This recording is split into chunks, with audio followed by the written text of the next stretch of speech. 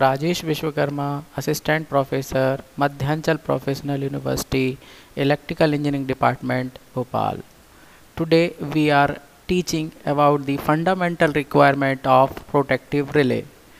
The principal function of protective relay is to cause the prompt removal from the saver of any element of the power system when it start to operate in an abnormal manner.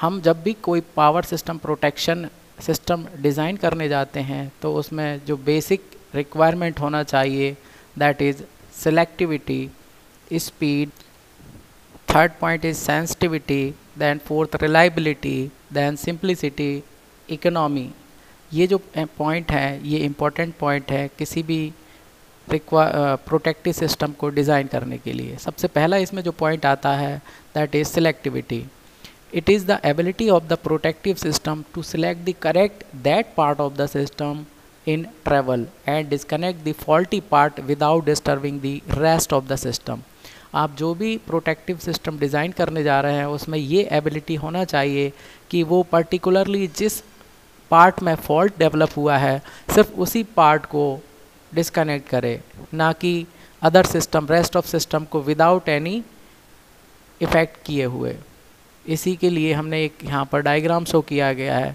पूरे protect सम protection system को हमने कई part में design किया हुआ है। जैसे for example इसमें आप देख सकते हैं कि पहला जो पार्ट है, वो जनरेटर प्रोटेक्शन का पार्ट है। यहाँ पर इसके बाद then low voltage switchgear protection लगाया गया है। Then power transformer protection zone बनाया गया है। इसके बाद हाई वोल्टेज स्विचगेयर प्रोटेक्शन बनाया गया है। फिर ट्रांसमिशन लाइन प्रोटेक्शन बनाया गया है। देन लास्ट में high voltage switch gear protection बनाया गया है। अगर किसी इस सिस्टम में, ये बस बार के लास्ट में अगर कोई फॉल्ट ऑकर्स होता है तो इस केस में हमारे जो रिले हैं या सर्किट ब्रेकर हैं, जो कि दिखाया गया है टेन इलेवन ट्वेल्व थर्टीन ये ऑपरेट हो जाएँगे और इस फॉल्टी सेक्शन को रिमेनिंग हेल्दी सेक्शन से डिसकनेक्ट कर देंगे। इस प्रकार से हम सिर्फ़ वही सेक्शन को डिसकनेक्ट करते हैं जिसमें फॉल्ट डेवलप होता है। सेकेंड जो इम्पोर्टेंट पॉइंट होता है, वह है speed the relay system should disconnect the faulty section as fast as possible for the following reasons जो हमारा रिले सिस्टम है, वो जितना संभव हो सके, जल्दी से ऑपरेट होना चाहिए फास्ट स्पीड से ऑपरेट होना चाहिए.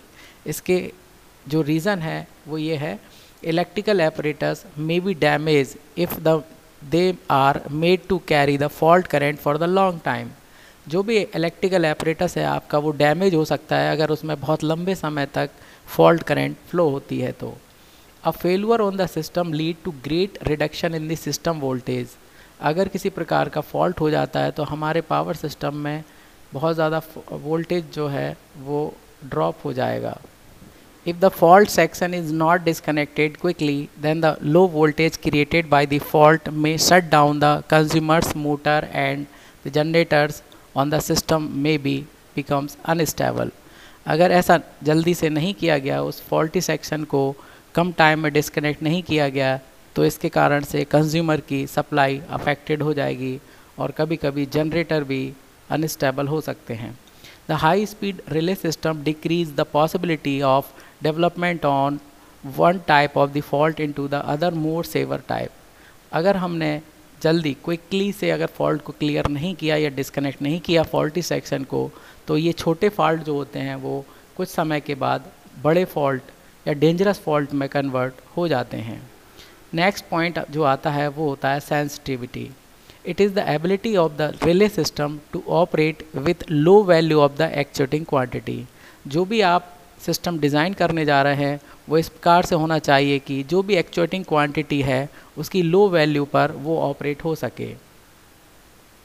नेक्स्ट इसमें जो पॉइंट आता है, वो दैट इज़ रिलाइबिलिटी रिलाइबिलिटी होता है विश्वसनीयता. It is the ability of the protective relay system to operate under the predetermined condition without reliability, the protection would be rendered largely ineffective and could even becomes a liability. जो भी आपका system है, वो faulty condition में operate होना ही चाहिए। उसमें sufficient reliability या विश्वसनीयता होना चाहिए। आपके जो भी प्रोटेक्टेंस सिस्टम आपने डिज़ाइन किया है। नेक्स्ट जो इम्पोर्टेंट पॉइंट है that is simplicity the relaying system should be simple so that it can be easily maintain reliability is closely related to simplicity. The simpler the protection scheme, the greater will be the its reliability जितना ज़्यादा हो सके आपका जो system आप design करने जा रहे हैं वो सिंपल होना चाहिए। जितना ज़्यादा सिंपल होगा उतनी ज़्यादा उसकी रिलायबिलिटी ज़्यादा से ज़्यादा होगी।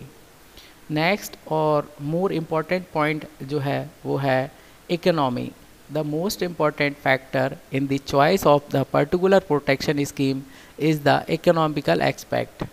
जो भी आप इम्पोर्टेंट फैक्टर होता है, किसी भी प्रोटेक्शन सिस्टम को चॉइस करने के लिए, चुनने के लिए, वो होता है उस स्कीम का आर्थिक रूप से सक्षम होना।